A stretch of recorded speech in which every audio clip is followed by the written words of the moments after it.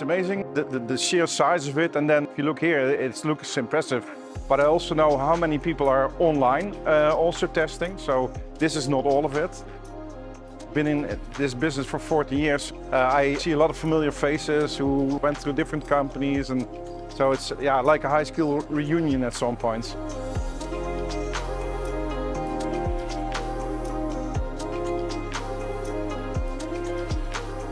joined the on site uh, this event. On the past, we have been connected offline through our uh, premises, and it looks like the atmosphere is very energetic. Uh, so many stakeholders here are very open to discuss their ideas and collaborate to the future of uh, e-mobility. So it's uh, been really nice to be among all these great minds that we have and share a common vision for e-mobility and a more sustainable world.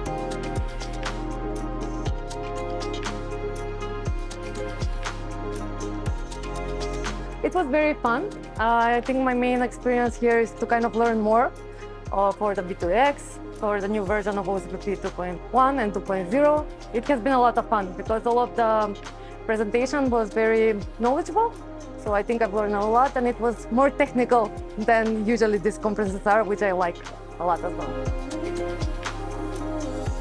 We spend a lot of effort making sure that we're always uh, one version ahead uh, of, of the market uh, certified so that when chargers become uh, certified with OCPP 201, for example, they will have the ability to work with us. Experience here was actually really great. Uh, very nice to meet uh, old friends uh, from Elaad and from all the other members of the OCA. Um, it, very good presentations here. Um, I, I think it was really good to catch up with uh, standards and technologies. V2G session was also very good.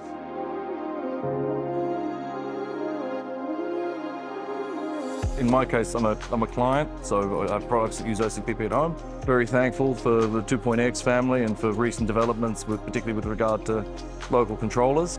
Uh, pretty excited actually by the uptake of OCPP and uh, people building uh, with the newer 2.x versions. Australia's a long way from everywhere, so you travel the world to gain knowledge.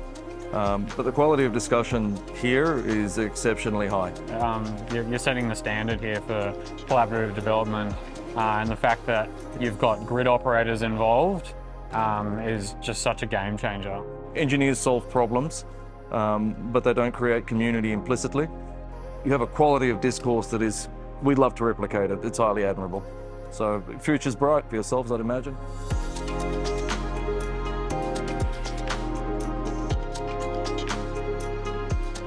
We had an extensive site program during the last two days. So we started off with an update on the OCPP test tool version 2.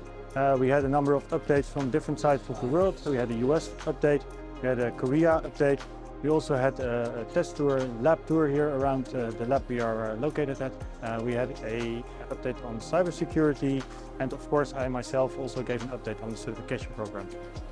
We had a lot of interesting discussion during the presentations. I see a lot of enthusiasm of uh, the people participating, both on site as well as online. We also have viewers online. See the community coming together, uh, yes, finding each other, finding out uh, new things together. So yeah, really uh, productive uh, two days, I think.